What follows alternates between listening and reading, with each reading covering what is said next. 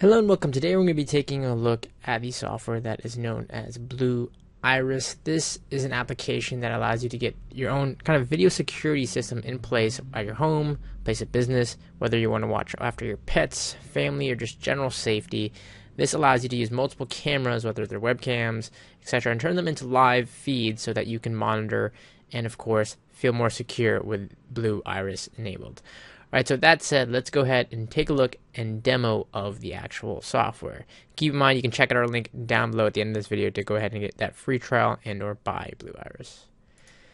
So here we are in the application, and as you can see, I am demoed here on two separate camera feeds that I have set up, one through my internal webcam and another external microphone, or I should say camera here and you can set up pretty easily. So what I'm going to do here is I'm going to go ahead and remove this camera right here. So I'm going to go into the camera properties.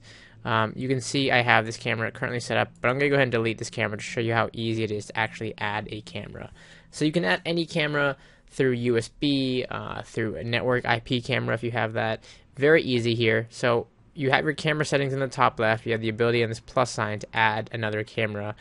And you can see here, you're going to go ahead and give your camera a full name and a short name. Choose what type of camera it is. In this case, mine is a USB camera.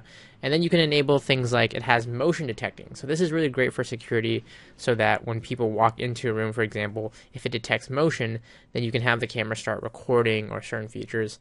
You can even do direct disk recording, meaning that it does automatically records the feed uh, to your hard drive. So I'm going to turn off motion detecting in this case, but I'm going to go ahead and hit OK and then I'm going to choose here the camera that I am accessing here. So in this case, I'm accessing a USB camera.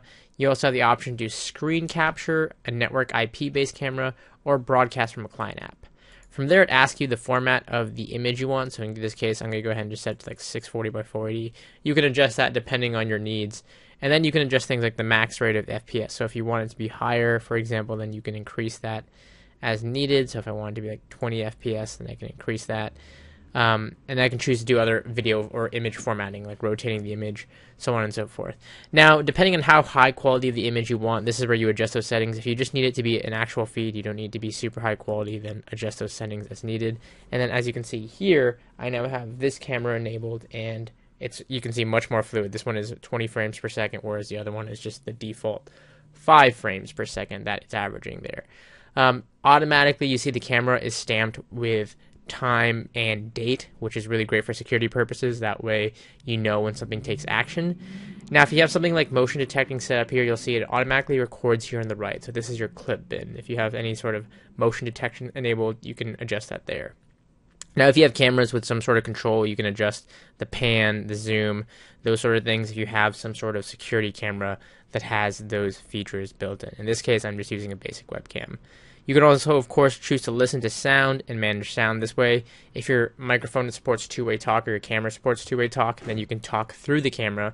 So in the event that there's an intruder or something like that, you can actually, you know, uh, throw out a verbal warning there. Now the bottom showcases your timeline. So this is your timeline of events. It'll show you as things occur and you can kind of zoom in, zoom out. So this allows you to see things in real time as they happen or of course you can check them later on as an archive to see when certain events may have taken place. Now, outside of that, your main controls are all exist in the top left. You have your camera properties, which you can of course choose to adjust. So things like your frame rate, uh, camera, you know, settings, like we just looked at earlier, the audio, the trigger settings. So again, if you want to go ahead and activate things like motion sensing um, and have certain actions when it triggers what to do here. Um, you can have the recording settings. So some people like to record directly to a hard drive or some sort of format. You can choose those options, whether it's for video or snapshot, because your camera can also, t- or the software can also take pictures if it detects motion. So you can set that up. And then you can even have it upload or post out JPEGs as needed here. So you'll adjust the file name and save it to your hard drive.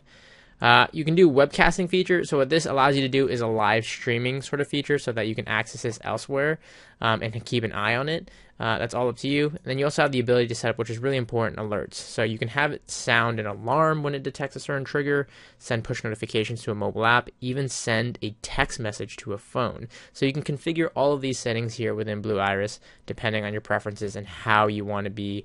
Uh, alerted once something happens. So whether the camera is triggered, if a camera uh, group is triggered or any camera at all, you know, happens to get triggered, you can set that up.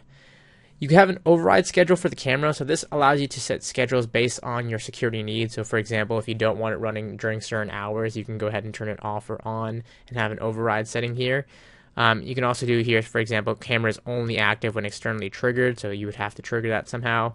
And then again, you have the zoom, pan, tilt settings. So if you have a camera that supports this, you can directly uh, activate these settings and adjust them here. Lastly, you have Watchdog. This focuses on loss of signal over the network. So, for example, if your camera, like a network IP camera, happens to get cut off over the network, it tries to restart the camera window after a certain number of seconds. So, if you're working with IP cameras or something like that, this is another great setting to adjust. Outside of that, you can adjust, of course, your camera views. You can view, you know, all cameras, just one camera. So you can adjust your layout here depending on your preference. If you want one kind of to be bigger than the other, there. And again, you can just adjust your views, all canvases in one frame. You can go ahead and see here, you can auto cycle through camera views or just solo select a specific camera if that's what you want to do here. Um, and then you can group them together. You have you know other options here that you can adjust throughout the app. There's a ton of settings throughout Blue Iris. Since it is a security application, there's a lot of different things you can adjust. Clips and archiving. You can set up web servers or FTP servers um, for connection through you know those. Um, again, just a lot of different stuff that you can configure here through the general settings um, with your hardware, keyboard macros, things of that nature. As you go down the list, you can see you can set up remote access. So if you want to go ahead and set that up, this uh, will walk you through that whole setup process. If you want to be able to access your security feeds remotely, let's say you're at work and you want to monitor at home, that's the purpose of setting that up. You can see the status of your overall system here and how that's going, the cameras, the app itself, the server, all of that through the Blue Iris status box.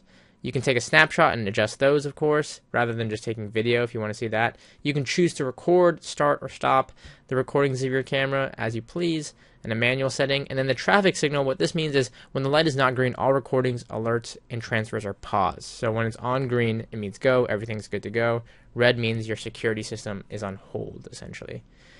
And other than that, you just have the interface that you can kind of adjust with. It shows you at the very bottom some additional info like your resources are being taken up by Blue Iris. You can see there um, some memory settings and things of that nature.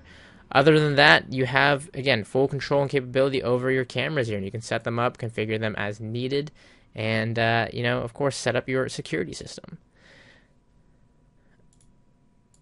Now, that all said, be sure to check our link down below to go ahead and check out Blue Iris if you want to go ahead and try a 15 day full trial or buy the software. Keep in mind, by going over to the downloads page, you can see the minimum requirements when it comes to your PC. Since this does use a lot of resources, and especially if you're using multi cameras, they do give you some recommendations on hardware to have if you're going to be running this setup for a home security system or office or whatever it may be. Now, further information. Again when you choose to purchase here if you're going to go for the full version the LE and the full version the only difference between these is the LE only supports one single camera. So if you only have one single purpose camera that you're going to be using you'll need the LE otherwise if you want multiple cameras up to 64 camera systems you want to get the full version. Uh, again click on our link down below for more information. That all said don't forget to check out Blue Iris if you're interested in security software to maximize your security and safety at the office, at home, what have you. Check out the link down below. Thanks for watching.